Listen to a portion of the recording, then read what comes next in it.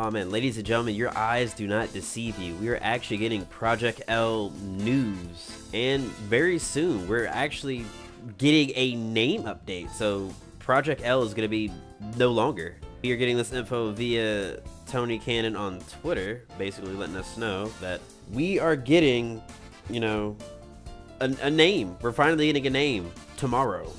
Uh, and we're also gonna get like the social medias and you know the channels and stuff to follow on all platforms.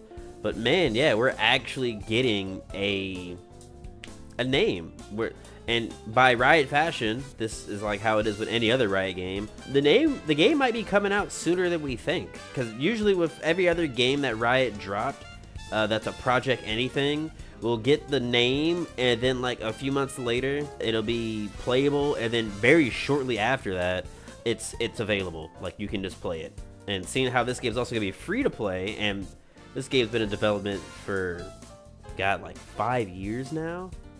Uh, and then a lot of people behind the scenes who tried the game said there's a bunch of characters that are already playable but they you know they're either not done or they just haven't announced them yet so there's probably gonna be some very slow rollout with this game, I bet, just to kind of go along with Arcane. But yeah, man, we're finally uh, Project L is no more. Uh, I I just hope whatever the name is is cool. That's all I care about. But yeah, let me know what you guys think. What do you guys think the name's gonna be? Since they already have a name set in stone.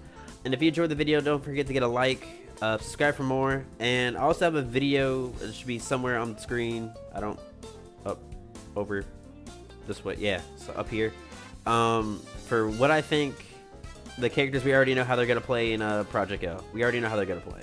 Uh, if you're a Project L fanatic like me, uh, give it give it a, give it a watch. You know, it wouldn't hurt. Uh, cause this wait's gonna be a while. You might need something to pass the time.